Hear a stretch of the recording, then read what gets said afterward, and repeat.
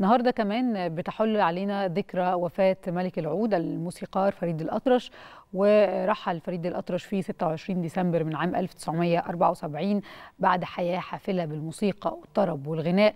كان من خلالها أحد عمالقة الفن وأثروا صناعة الفن والطرب وخلد يعني اسمه إلى الأبد في سجلات المبدعين.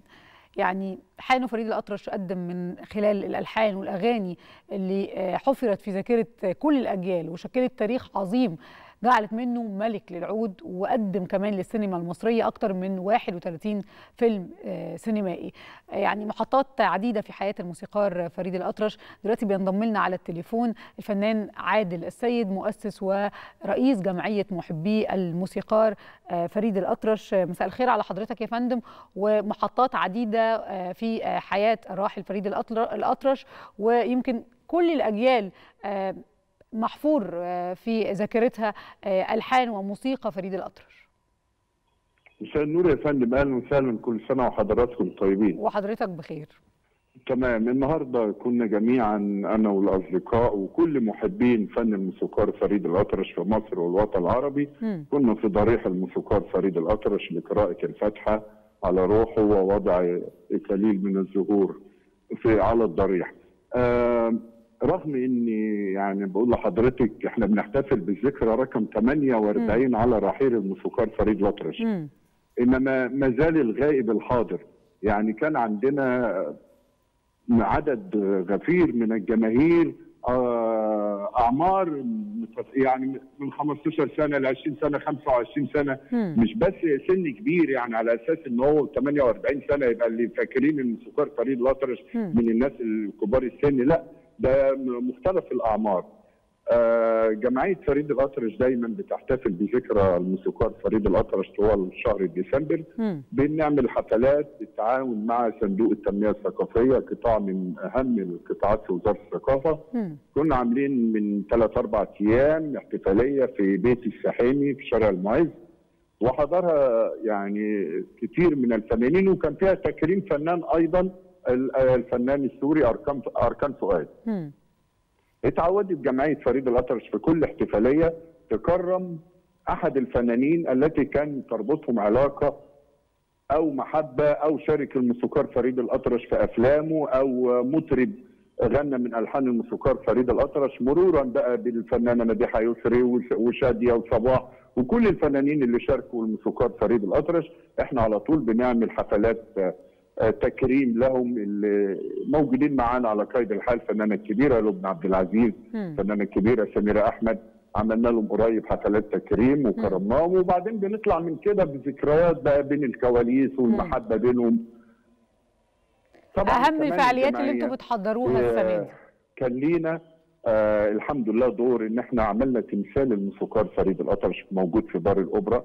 وبعد أيام قليلة إحنا ودينا يعني حاليا بقى موجود تمثال لاسمى هان موجود في دار الأوبرا. منتظر سياده الدكتورة نيفين الكيلاني وزيرة الثقافة يعني تتفضل بإزاحة الستار ضمن احتفالية عن فنانه اسمان ده يكون يعني ممكن الأسبوع الجاي أو حاجة إن شاء الله. بالتأكيد ليكم جهود لمسألة الحفاظ على تراث الفنان فريد الأطرش ويعني انتقاله كمان للأجيال الجديدة.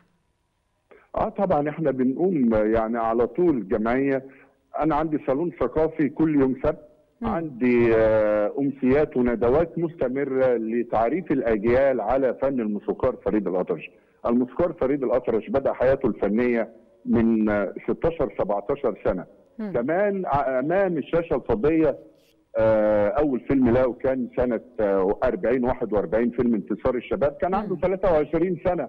تخيلي من شاب عنده 43 23 سنة في سنة 40 عمل لنا في فيلم واحد أكثر من 11 أغنية آه مش بس أغاني أغاني نماذج من من الغناء العربي. م. يعني غنى في نفس الفيلم الدويت والموال والقصيدة والأوبريت.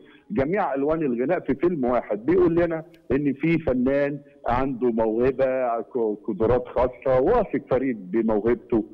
واستمرت نجاحات أفلام الموسيقار فريد الأطرش على الشاشة الفضية حتى وصلت أفلامه ل 31 فيلم غناء استعراضي مستمتعين بيها كلنا حتى الآن.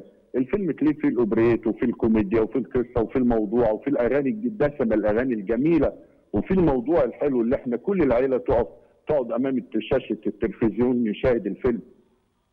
كمان الفنان الوحيد فريد الأطرش المطرب الوحيد اللي استمرت نجوميته على شاشة السينما من سنة 40 لسنة 75 يعني هو توفى في 74 إنما آخر فيلم له يعني بعد اتعرض بعد رحيله بسنة في مصر 25 8 سنة 1975 نجوميته ما تهزتش كل الفنانين توقفوا في مراحل معينة عن التمثيل. إنما عاد فريد الأطرش كان مستمر وجمهور فريد الأطرش أظل يلتف حوله ومتابعه لآخر لحظة في حياته وإلى الآن يعني كل جماهير فريد الأطرش شوفي حضرتك التواصل الاجتماعي النهارده كلها عن فريد الأطرش والحان فريد الأطرش وأغاني فريد وعمل إيه وحاجات جميلة يعني. فريد فريد فنان أصيل فنان حالة فنية متفردة يعني. كله. صحيح. غنى 52 أغنية وطنية.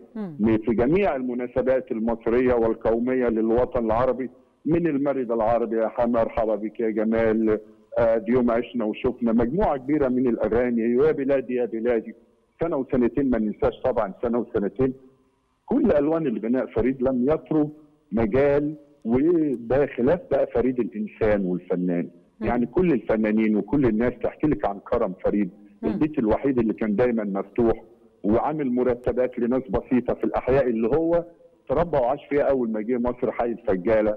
حي الخرنفش حي باب الشعرية. الناس اللي تربى وعاش في وسطها لما ربنا كرمه ووصل إلى المجد ما نسيش الناس دي. كان عامل لها مرتبات شهريه كل شهر. فيعني الكلام عن موسيقار فريد الأطرش يطول. إحنا استمتعنا بحديث حضرتك الفنان عادل السيد مؤسس ورئيس جمعية محبي الموسيقار فريد الأطرش. شكرا جزيلا على وجود حضرتك معنا.